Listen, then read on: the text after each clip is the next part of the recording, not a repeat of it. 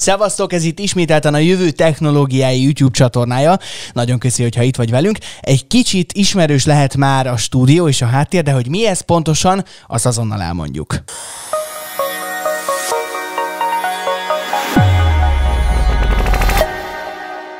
Sziasztok, én ismételten Tálas Péter Csongor vagyok, és szeretném bemutatni nektek a kedves kollégámat, Máté Gerit, akivel Sziasztok. kettecskén csináljuk az Őrültek podcastet, és gondoltuk, ha már a PCT Systems a fő támogatónk, akkor szeretnénk megmutatni nektek azt, hogy egy podcast stúdió a jelenlegi körülmények között hogyan áll össze technikailag. Első körben szerintem hangügyileg kezdjük a dolgot, talán a legfontosabb dolog az a mikrofon lesz. Így van. Erről a mikrofonról, amiből ebben a stúdióban három is található, mert arra is fölkészültünk, hogy esetleg vendégeket is szívesen látnánk.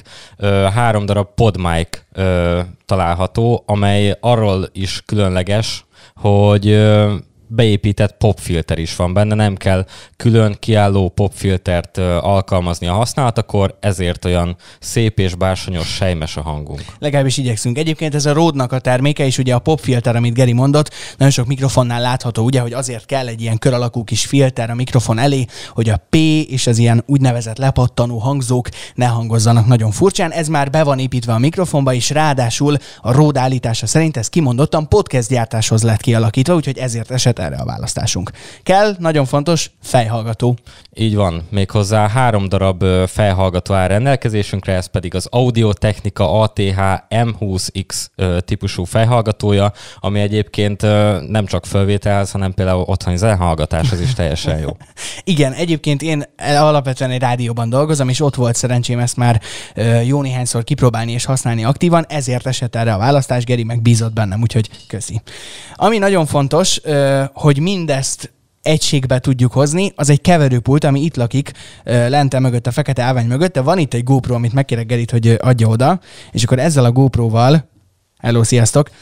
Villám gyorsan meg tudom nektek mutatni. Ez a Rode-nak a Rodecaster Pro nevezetű keverőpultja, ami gyakorlatilag négy mikrofon befogadására alkalmas. Mind a négy mikrofonhoz egyébként külön presszeteket lehet beállítani, hogy éppenséggel milyen mikrofont használunk, vagy hogy hogyan szeretnénk, hogy szóljon a saját hangunk. Ezen kívül természetesen USB hangkártyaként funkcionál a történet, úgyhogy itt oda-vissza ezen a csatornán működik egy számítógéppel, vagy bármilyen USB kezelésére alkalmas eszközzel a lejátszás és a visszajátszás egyaránt, meg a felvétel.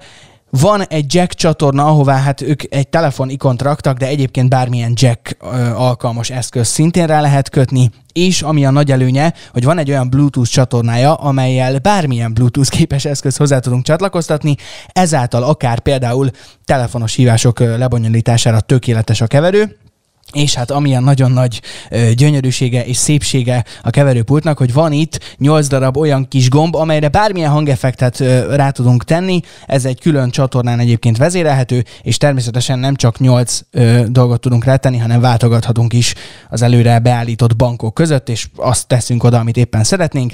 Ezen kívül pedig tudunk négy fejhallgatót, mint ahogy négy mikrofon van, négy fejhallgatót külön-külön vezérelni, és persze akár, ha szeretnénk, még egy külön hangfalat is ráköthetünk.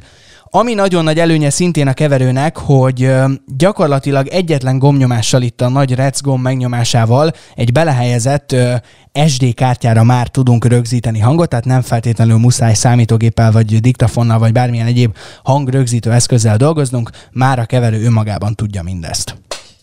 Így van, és uh, annak ellenére, hogy uh, gyakorlatilag ilyen profi hangzást tudunk generálni egy keverő és három mikrofon, valamint a fejhallgatók segítségével, azt érdemes megjegyezni, hogy van olyan stúdió elemünk, ami segíti azt, hogy ennyire jól szóljon minden.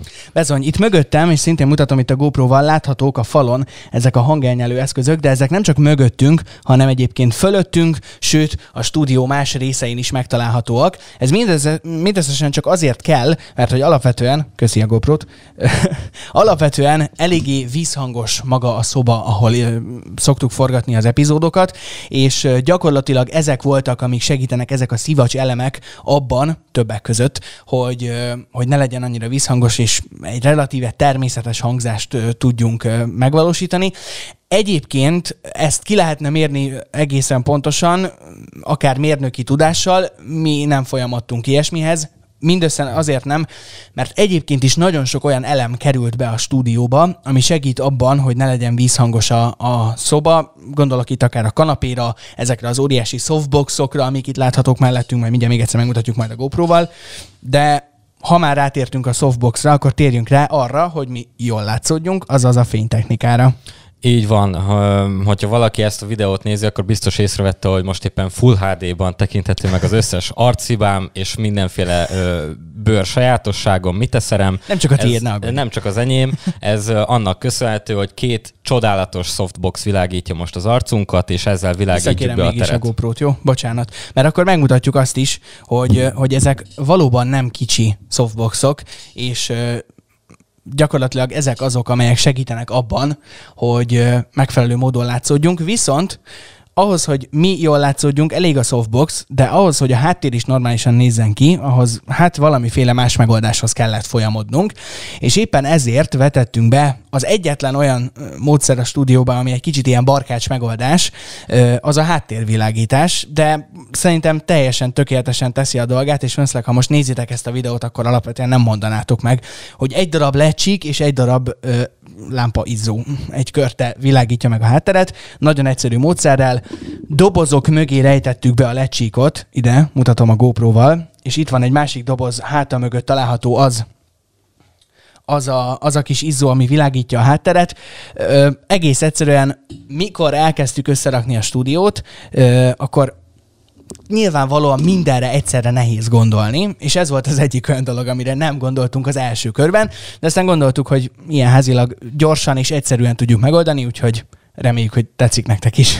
Én szerintem még a BBC-nél is van olyan hely, amit szikszalaggal rögzítettek oda, ahová egyébként azt kellett rögzíteni, úgyhogy ilyen sajátosságok mindenhol előfordulnak, én szerintem egész pofás kis stúdiót sikerült összerakni, tehát a lényeg az, hogy nagyon jól hall, hallhatóak vagyunk, ezen kívül pedig nagyon szépen nézünk ki ebben a csodálatos kis stúdióban. Maradjunk abban, hogy jól látszódjunk, hogy szépen nézzünk-e ki, azt szerintem a nézők döntsék el. Hát lehet, hogy túloztam. Viszont ahhoz, hogy mi látszódjunk, ahhoz természetesen kellenek a kamerák, és az egyiket már lelőttük, ami itt van az asztalon most, az pont egy GoPro 7 Silver kamera. Ugye ennek van egy prób változata, mi egész egyszerűen nem akartunk sem költségügyileg, sem más szempontból a prób verzió mellett dönteni. Bőségesen elég nekünk ez a kis GoPro arra, amit mi használjuk. Gyakorlatilag ez egy második kameraként funkcionál itt a stúdióban, és a nagylátószög, a stabilizáció és stb. amilyen tulajdonságai vannak, ennek nyugodtan utána tudtok nézni, hogyha szeretnétek részletesebben, bőségesen elég. A másik kamera, amivel pedig néztek minket, az Geri már is megmutatja a GoPro-val, az pedig pedig egy Canon EOS 80D nevezetű kamera, egy olyan tükörreflexes kamera, amelynek egyébként a gyári saját ö, objektívét használjuk, és gyakorlatilag hál' Istennek egy ilyen méretű stúdióban ő is teljes mértékig tökéletesen kiszolgál minket, akár akkor is, hogyha mondjuk élőben szeretnénk bejelentkezni, akár persze akkor, hogyha így felvételről látok minket.